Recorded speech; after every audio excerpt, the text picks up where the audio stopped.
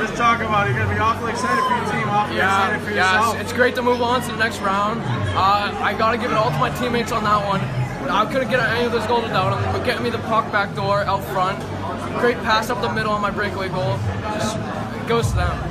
Hey, you're a freshman. You're not supposed to be doing this on the stage, you know. Uh, I just, the fans really helped out today.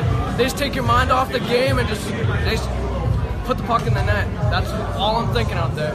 Hey, you clearly played with no pressure tonight. Can you just talk about the importance of getting out early and how you guys can calm down? Uh, I think that great two nothing start really helped us throughout the game.